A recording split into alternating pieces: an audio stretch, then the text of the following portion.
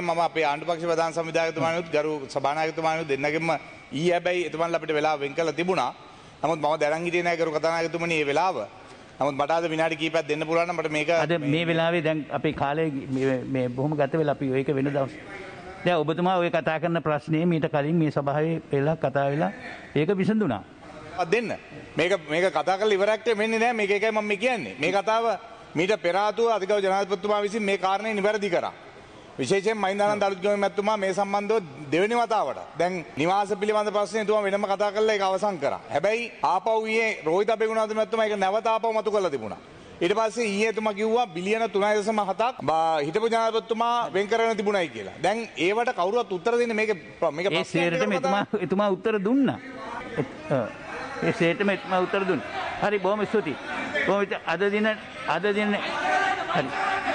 අද දින අද දින න්‍යාය පත්‍රයේ කටයුතු. කාරක සභාව. නෑ ඔබතුමා ඒ ඔය ප්‍රශ්නේ මෙතන කතා කරලා විසඳන්න දැන් මේ මේ මොහොතේ ඒ ගැන ගන්න එපා. විශේෂයෙන්ම දයාසිරි ජයසේකර නියෝජ්‍යමිතුමා ප්‍රකාශයක් කිරීමට ඉල්ලුවේ ශ්‍රී ලංකා නිදහස් පක්ෂයේ පාර්ලිමේන්තු කණ්ඩායමේ පෙරේදා රැස්වීමකින් පසුව. ඒකට හේතුව ඔබතුමා සඳහන් කළ පරිදි කෘෂිකර්ම ඇමතිවරයා මේ සභාවය කරූ ප්‍රකාශයක් පිළිබඳව මම ඊට පිළිතුරු දුන්නා. ඒ පිළිතුරුදීමෙන් පසුව ඒ පිළිතුරුදීම සිදුවනේ මේ ගෙවල් තුනක් එකට එකතු කොල්ල මම මේ පදිච්චි වෙලා ඉන්නවයි කියලා ගේක. එතකොට මම අභියෝගෙකුත් කෙරුවා මම මන්ත්‍රීදුරෙන් අස්සෙන ඔප්පු කෙරුවොත් කියලා. එතකොට ඒක අද වෙනකම් ඔප්පු කරන්න බැරි වුණා. ඒක සම්පූර්ණ අසත්‍යයක්. නමුත් ඊට පස්සේ පාර්ලිමේන්තුවේ දැන් මේ ජනාධිපති වැය ශීර්ෂය ගත්ත වෙලාවේ අඟහරුවාදා මේ සභාවේ ප්‍රකාශ කළා හිටපු ජනාධිපතිවරයා වාහන දෙසීයක් පාවිච්චි කෙරුවා.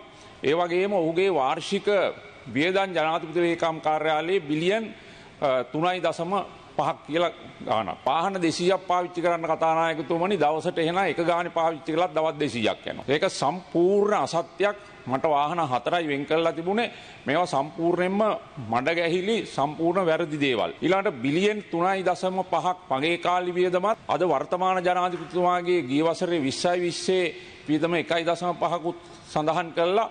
මම විශාල වශයෙන් මුදල් විනාශ කරලායි තියෙනවයි කියලා සඳහන් කළා. මම බොහොම පැහැදිලිව කියන්නට ඕන මගේ කාලේ ජනාධිපති කාර්යාලයේ ප්‍රධාන ව්‍යාපෘති හතක් ක්‍රියාත්මක වුණා. ඒ ව්‍යාපෘති අද කොහෙත්ම ක්‍රියාත්මක වෙන්නෙත් නෑ. ඊට කලින් ආණ්ඩු ක්‍රියාත්මක කරලත් නෑ. ජාතික පරිසර වැඩසටහන, මද්‍රව්‍ය මර්ධනය වැඩසටහන, දරුවන් රකිමු ජාතික වැඩසටහන, ස්මාර්ට් ශ්‍රී ලංකා වැඩසටහන, ජාතික වකුගඩු රෝග නිවාරණ සහ සුබ සාධන වැඩසටහන ඒ වගේම ග්‍රාම ශක්ති ජාතික ව්‍යාපාරය මේ වගේ ප්‍රධාන ව්‍යාපෘති හතක් ඒවට තමා මේ වියදං කෙරුවේ.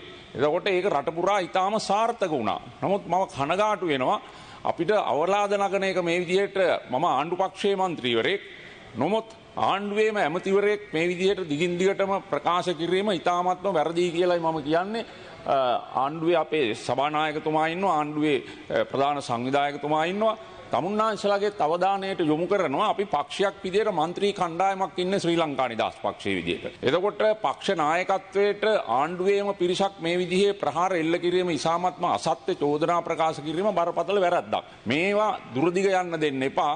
අපි දාහතර දෙනා පෙරේද රැස් වෙලා තම අද මේ ප්‍රකාශය කරන්න තීන්දු කළේ. ඒක නිසා ඉතාම කරුණාවෙන් ඉල්ලා සිටිනවා මේ මඩ ගැහිලි වැරදි ප්‍රචාර මේ විදිහට ඉඩ දෙන්න එපා කියලා ඔබතුමාගෙන් ඉල්ලා සිටිනවා. ස්තුතියි. බොහොම ස්තුතියි.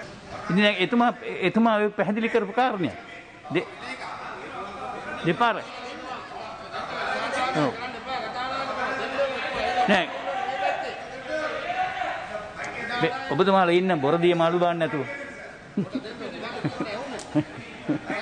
හරි බොහොම ස්තුතියි. බොහොම. හරි ඔබතුමා එහෙනම් එහෙනම් විනාඩි 5ක් දෙන්න. හරි කියන්න. අරු කතානායකතුමනි මම බොහොම ස්තුතිවන්ත වෙනවා ඔබතුමාට මේ විනාඩි කිහිපෙ දීම ගැන විශේෂයෙන් මම කියන්න කැමති මහින්දන්ද මැතිතුමා විසින් කරපු ප්‍රකාශ කිහිපයක් තිබුණා. රුපියල් බිලියන 3.7ක් අවසන් වසරේ ජනාධිපතිතුමාගේ වියදම විදිහට තිබුණත් අද 2022 ලබන අවුරුද්දට නැත්නම් මේ අවුරුද්දේ එතුමා බිලියන 1.7ක් ගෝඨාභය ජනාධිපතිතුමා පාවිච්චි කරයි කියන කාරණේ. ඒකෙදි මම කියන්න කැමති දෙදස් දහට වසරේ මම අපේ ජනපතුවත් මේ සම්බන්ධ ප්‍රකාශ කර හැබැයි මං කියන්න කැමති දෙදස් දහට වසරේ ග්‍රාම ශක්තිවලට විතරක් රුපියල් මිලියන දෙදහක් අපි පාවිච්චි කළ තිබුණ. ඊළඟට ආහාර නිෂ්පාදන රුපියල් මිලියන පන්සීයක්. දෙස් දහනම ග්‍රම ශක්ෂ රුපියල් මිලියන හාරදහක් වෙන්කරගෙන තිබුණ. ආර නිෂ්පාදන රුපියල් මිලියන පන්සීයක්. මේ විදිර ගත්තම විශාල මුදලක් ව්‍යාපෘති ගණනාවකට විශේෂෙන් මං කියන කැමති ව්‍යාපෘති එකින් එක ගත්තොත් ගාම ශක්ති වැඩසරහන්ට ගාමසවා කොට්ටාස දහදහක මේ ක්‍රියාදාමය සිද්ධ වුණා දුප්පත්ම ග්‍රාමසවා කොට්ටාස තමයි යෝජනා කරන ඒ ක්‍රියාත්මක කරණය සංවර්ධනය.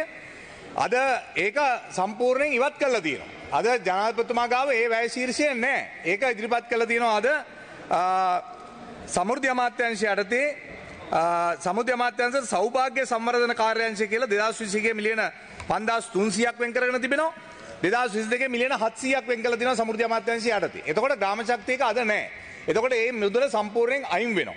දෙක වක්ගඩ ලෝක නිවාරණ කාර්යසාධක බලකාය දෙදස් පහලුවේ ජනාධිපතිවරණය ජාධපතිවරය විදියට මැතිවරණ අරමුදලෙන් තමයි එක පටන් ගත්තේ. අරගෙන පෞද්ගලිකාංශයෙන් ටත් ඒක දීලා පෞද්ගලිකාංශයෙන් ගන්න නැතුව ආරෝමශ ආරෝපලාන් සැදවා දහකට වැදිය ගරු කතානායකතුමනි. මේ වගඩ රෝග නිවාරණය සම්බන්ධව. මේක පුද්ගලිකංශයට දීල වැඩ කරේ නෑ. ඒවා නාවි කමුදාවත් එක් එකතු වෙලා මේ ප්ලාන්ස් දාහකට වැඩි අදල තිබුණ අද ඒකෙන් බොහොම පැහැදිලිව වගඩ රෝගයේ සම්පූර්ණයෙන් විශාල ප්‍රමාණයක් අඩු වෙලා තියෙන. ඒක ඒවගේ මම කියන්න කැමති ඒක අවසාන ප්‍රතිඵලය විදිර එතුමා නායගත්තේ නෑ චීනෙන් සල්ලි අරගෙන චීනෙන් ආධාර මුදලක් අරගෙන වග්ගොඩ රෝහලක් හැදවා පොළොන්නරුවේ. අද මේ වනතුරු ඒ පොළොන්නරුවේ රෝහල තාම විවෘත කරගන්න බැරුව ගියා. හරි මේක තමයි අද ඇති වෙලා තියෙන තත්ත්වය. ඒ විතරක් නෙමෙයි පරිසර සංරක්ෂණ වැඩසටහන. පරිසරය සුරැකීමේ කාර්යසාධක බලකායක් යදුව හැදුවා. ග්‍රාම සේවා කොට්ටාස මට්ටමින් එතුමා ඒ සම්පූර්ණ ඒකට මුදල් වෙන් කරගෙන තිබුණා. ඊළාට වස විසෙන්තර ආහාර කාබනික පොහොර යොදා ගනිමින් පදවිය ගෝමරන් කඩුවල කන්තලේ අම්පාර පොළොන්නලුව රසායනික පොහොර නැතුව එතුමා වැඩපිල්ල සකස් කරා කාබනික පෝරවලින් පදවිය විතරක් අක්කරයකට බුසල් එකසිය විස්සත් එකසිය හතලියක් දක්වා වැඩි කරගන්න හැකියාව එතුමට ලැබුණා. ඒ විතරක් නෙවෙයි මද්‍රව්‍ය නිවාර්ධන මර්ධන කාර්යසාධක බලකාය සම්පූර්ණයෙන් මේ රටේ ජාත්‍යන්තර මද්‍රව්‍ය තිප්පලක් වෙලා තිබිච්ච මේ රට එතනින් බේරගන්න එතුමා කටයුතු කරේ.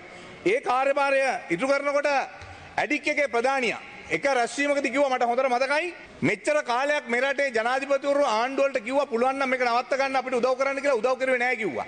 මෙච්චර කාලයක් ගෑරුප්පකින් හාරලා හිටපු මේ මහා දැවැන්ත මද්‍රව්‍ය කන්ද මෛත්‍රී ජනාධිපතිතුමා විසින් පටන් ගත්ත ඒ ව්‍යාපාරය තුළ බැකෝ එකක් අපිට දුන්නා වගේ තමයි මේ වැඩපිළිවෙල ක්‍රියාත්මක කරේ කියලා එතුමා කිව්වේ. ඒ වගේ වැඩපිළිවෙලකට විශාල ශක්තියක් එතුමා දුන්නා. ඒ විතරක් නෙමෙයි කොමිෂන් සභාව පහකට මේ පෞගේ අවුරුදු පහේ මුදල් එතුමා යොදලා තිබුණා ජනාධිපති අරම ජනාධිපති වරයාට තිබෙන අරමුදල් වලින්. දෙයාස් පහලට පෙර සිද්ධ වූ දූෂණ වංචා මහා බැංකු මංකොල්ලය ශ්‍රී ලංකන් ගුවන් සේවය දූෂණ දෙයාස් පාලයේ ඉඳලා දෙයාස් 18 දක්වා තමන්ගේ ආණ්ඩුවේ තිබිච්ච දූෂණ සම්බන්ධව බණ්ඩාරනායක මහත්තයට පස්සේ කවුරු හරි තමන්ගේ අමාත්‍ය මණ්ඩලයේ ඇමතිවරයෙක් එළියට දැම්ම නම් එළියට දැම්මේ මෛත්‍රීපාල සිරිසේන ජනාධිපතිතුමා මතක තියාගන්න. ඒ විතරක් නෙමෙයි පාස්කු කොමිසම මේකත් එතුමාගේ ඒ මුදල් ටිකත් වෙන් කරලා තිබුණේ මේ ක්‍රියාදාමය තුල. ඒ නිසා මේ 3 බිලියන 3.7ක් මේකට විනාශයක් කරයි කියන කාරණය සම්පූර්ණයෙන් අපි ප්‍රතික්ෂේප කරනවා. ඒ විතරක් නෙමෙයි මතක තියාගන්න ඕනේ කාරණේ තමයි මේ රටේ ආණ්ඩුක්‍රම ව්‍යවස්ථාව 1978 ඉඳලා 20 වතාවක් වෙන් කරලා වෙනස් කරලා තියෙනවා. මේ වෙනස් කරපු ජනාධිපතිවරු හැම කෙනෙක්ම තමන්ගේ බලය රැකගන්න නැත්තම් තුන්වෙනි පාර හතරවෙනි පාර තමන්ගේ බලය රැකගන්න වැඩ කරපු අය හිටියේ ඉතිහාසයේ 2015 මේ අපි එදුණා සහයෝග දුන්නේ නැහැ. අපි සහයෝග දුන්නේ අපේ මහින්ද රාජපක්ෂ මැතිතුමාට. හැබැයි එතුමා එතෙන්ට ඇවිල්ලා මොකද්ද කරේ? තමන්ගේ බලය සම්පූර්ණයෙන් මේ රටේ මේ රටේ පාර්ලිමේන්තුවට අගමැතිවරට බලය දුන්නේ නැතුවා. ඒ විතරක් නෙවෙයි. අපි ඊයේ පෙරේද දැක්කා මේ මේ වජිර අභයවර්ධන මහත්තයා කිව්වා. ඒ එතුමා අවංකව කරපු ක්‍රියාදාමය. අවසාන වශයෙන් කොහොමද වජිර අභයවර්ධන මහත්තයා කිව්වේ? අපි සිරිසේනක රෙද්ද ගැලෙව්වයි කිව්වා. ඒක තමයි කිව්වේ. ඒ කියන්නේ මේ රටේ අවංකව තමන්ගේ බලය මිනිස්සු අතර බෙදලා තිබ්බු නායකයට දුන්න වැඩපිළිවෙල තමයි. ඒක හින්දා තමයි එතුමා ගෙනල්ලා 2018 ඔක්තෝබර් මාසේ මහින්ද රාජපක්ෂ මැතිතුමාව රටේ අගමැති කිරුවේ මතක තියාගන්න. ඒ නිසා මේ වගේ චෝදනා කරනකොට හොඳට මතක තියාගන්න ඕන කාරණයක්. අද ඊළඟට මම කියන්න කැමතියි වාහන 200ක් ගැන කතා කරලා තිබුණා. ඒ වාහන 200ට මම උත්තර දෙන්නම්. මොකද හේතුව ගරු කතානායකතුමනි මේ මහින්දානන්ද මැතිතුමා කියන වාහන 200ක් තිබුණයි කියලා. දැන් රෝහිත අබේගුණාතුර මැතිතුමා එතුමායි කතාවේ කියන වාහන 386ක් තිබුණයි කියලා. මං අහන්න කැමතියි මොකද්ද මේකෙන් හරි එක? කරුණාකරලා කියන්න. අද අපේ ජනාධිපතිතුමා වාහන තුනකින් යනවා. ඒක ඉතාම හොඳ කාරණයක්. හැබැයි මතක තියාගන්න ඕන කාරණේ තමයි වාහන ෆ්ලීට් එකක් තියෙනවා ජනාධිපතිතුමාට. වාහන ෆ්ලීට් එකක් තියෙනවා අගමැතිතුමාට. අපි මේවා නොදන්නව නෙමෙයි බබ්බු වගේ බොරු කළා හරියන්නේ නැහැ. අද ජනාධිපතිතුමා කොළඹ රැස්වීමක් තියෙනවා නම් ඒකට වාහන තුන කියනවා ඊළඟට අනුරාධපුරේ තියෙනවා නම් ඒ තව වාහන තුනක් අනුරාධපුරේට යනවා. තංගල්ලට තියෙනවා නම් තංගල්ලට තව වාහන තුනක් කරනවා. එහෙම ෆ්ලීට් එකක් තියෙනවා. හරි ඒකද හොඳට මතක තියාගන්න ඕනේ මේවා කියන්න කලින් වැඩ වැදගත් විදිහට කල්පනා කරලා කතා කරන්න. අගමැතිතුමාටත් මේ විදිහටම අඩු ආන සංඛ්‍යාවක් තියාගෙන වැඩ කටයුතු කරන්නේ. ඒ නිසා මම කියන්න කැමතියි මේවා කතා කරන්න ආවොත් අපිට ගොඩාක් දේවල් අපිට කියන්න පුළුවන් කරු කතානායකතුමා. හොඳට මතක තියාගන්න. ඕනේ කාරණා තමයි එක කාරණයක් කියලා මම නතර කරන්න. මහින්දානන්ද ඇමතුමා මේ පළවෙනි වතාව නෙමෙයි මේ කාරණේ කිව්වේ.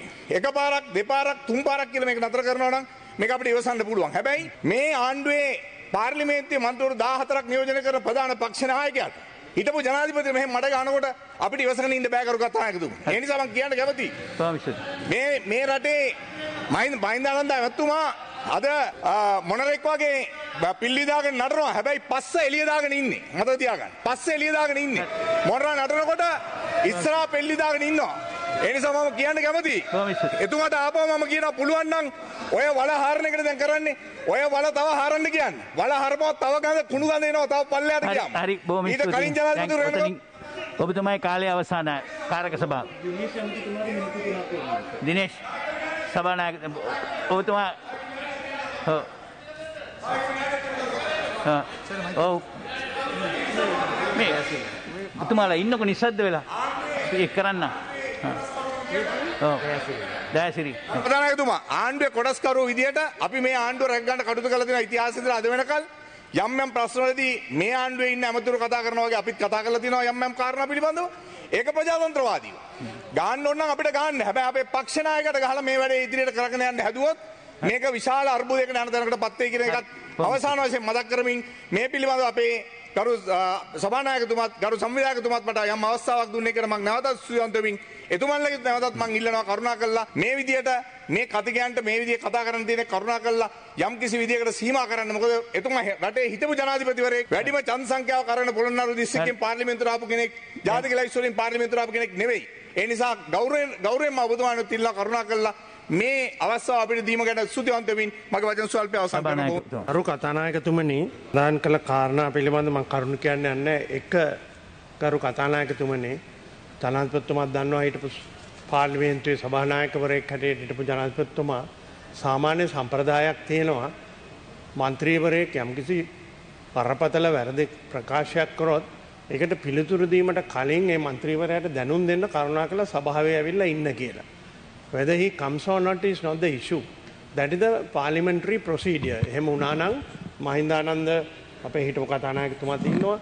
එහෙමනම් මහින්දානන්ද ඇමතුමා මෙතන පැමිණ Tamanගේ අඩුපාඩුවක් වුණා නම් ඒක අඩුපාඩුව නිවැරදි කර ගන්නවා ඇති කියලා අපි විශ්වාස කරනවා. අඩු- අඩුපාඩුවක් වෙලා නැත්නම් ඒක පැහැදිලි කරයි කියලත් අපි විශ්වාස කරනවා.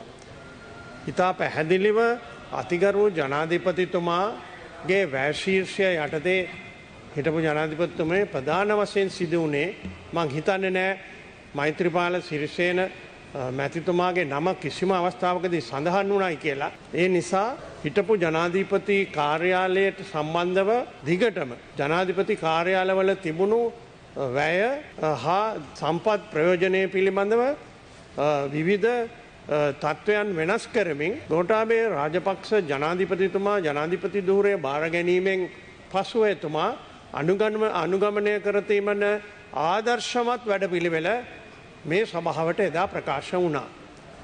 වාහන භාවිතය අඩුකිරීම වෑශීර්ෂ අඩුකිරීම වෙනත් කාර්යන්සේ නිලධාරි ප්‍රමාණයන් ඇඩුකිරීම එක ඉදා ආදර්ශයක් ජනාධිපත්තුමෙක් හැඩේට ජනාධිපත්තුමා හැටියට කරන තියෙන වැඩ පිළිවෙල එතුමාගේ වැශීෂය සාකච්ඡා වෙන අවස්ථාව තමයි සාමාන්‍ය සාකච්ඡා වෙන්නේ. ඔබතුමා දන්නවා ජේෂ්ඨතම මන්ත්‍රීවරයක්කටට අපේ පාර්ලිමේන්තුවේ කතානායක දූරයට පත්වීමට කලින් සාමාන්‍යයෙන් ජනාධිපතිවරයෙක්ව නංකරලා පාර්ලිමේන්තුවේ අ, ප්‍රශ්- කරුණු කියන්නෙත් නෑ. ඒක තමයි සම්ප්‍රදාය තිබුණේ. ඒක තමයි සම්ප්‍රදාය තිබුණේ මේ පාර්ලිමේන්තු සම්ප්‍රදායන් සියල්ලට පයිංගහලා අද නැගිටලා පාර්ලිමේන්තුවේ ගෞරවය ගැන කතා කරන බොහෝ ඇය. නමුත් පාර්ලිමේන්තු සම්ප්‍රදායන් එලෙස ආරක්ෂා කරා. ඒ අනුව යම්කිසි දෙයක් ජනාධිපතිවරයෙක් ගැන හනවනං රාජ්‍ය නායක ඇටියට කතානැක්තුමා හම්බෙලා කියලා තමයි එම අහන්නේ. මම මේව සඳහන් කරේ අ, ශ්‍රී ලංකා නිදහ පක්ෂයත් ආණ්ඩුවත් අතර කිසි පට ගැටලුවක් මතු වෙලා නැහැ.